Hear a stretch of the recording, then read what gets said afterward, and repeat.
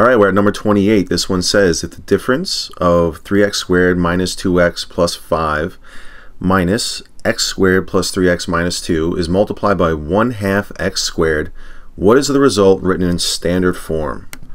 All right, so really I'm just going to write it out again.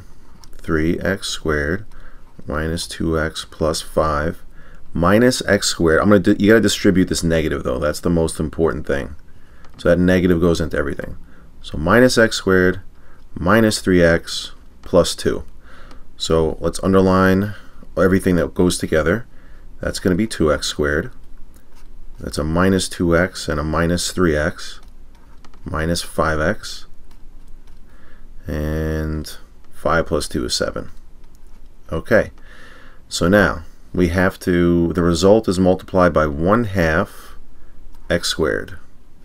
1 half x squared. What is the result? So now we just got to take half of everything. So a half times 2 is just 1.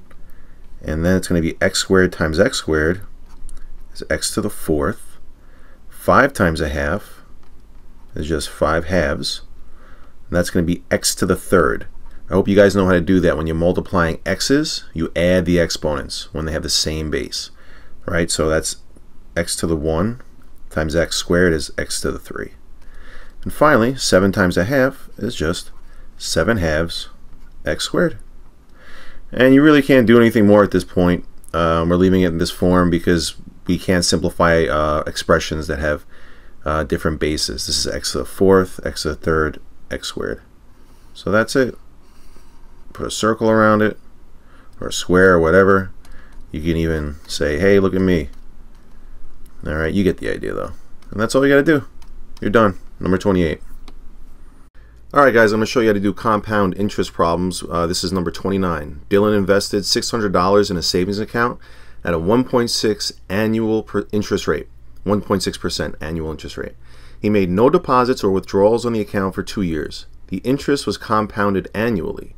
Find to the nearest cent the balance in the account after two years. And uh, the way you're going to do this is, you know, you can memorize equations for it, but really, I'll just show you the steps. In uh, method number one, okay, all you're going to do is you're going to put your starting value in first, then you're going to put parentheses. And it's going to be one point, whatever the interest rate is. So since it's 1.6%, we have to convert that to a number without the percent sign. So 1.6% the percent sign tells you move the decimal place over one, two spots. So that's 0.016.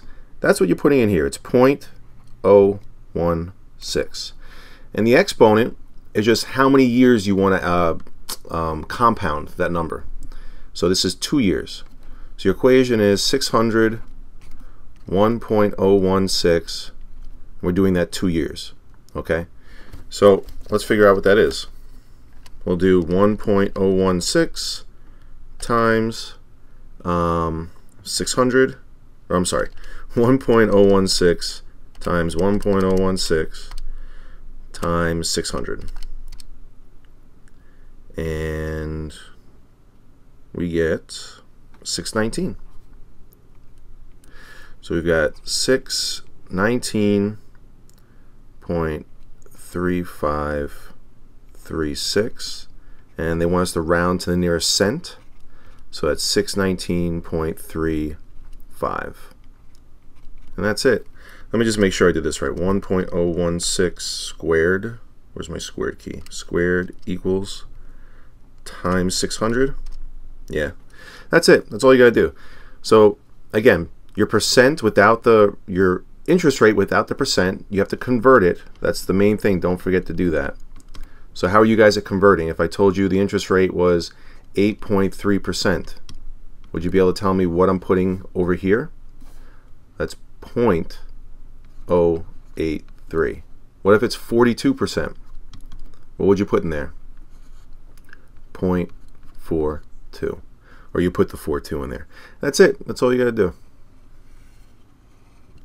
All right, number 30, this one says determine the smallest integer that makes negative 3x plus 7 minus 5x less than 15 true. All right, so when I look at this question, first thing I think of, or that I notice, is that this and this, it's not fully simplified, so we should do that. So negative 3 minus 5 is negative 8x. So that's going to be negative 8x plus 7 is less than or equal to 15. So now, treat this like an equation. Minus 7 minus 7.